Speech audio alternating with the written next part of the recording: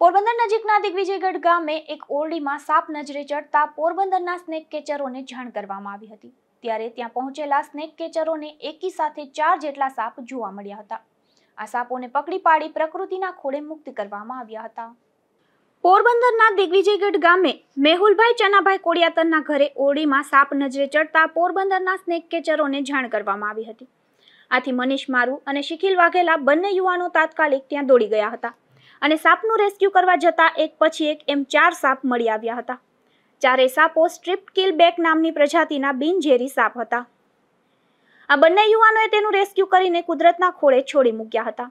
તેઓએ જણાવ્યું હતું કે નાની એવી ઓરડીમાં છાણા સહિતનો સામાન એકત્ર કરવામાં આવતો હતો, ત્યાં ચાર સાપ વસવાટ કરતા હતા.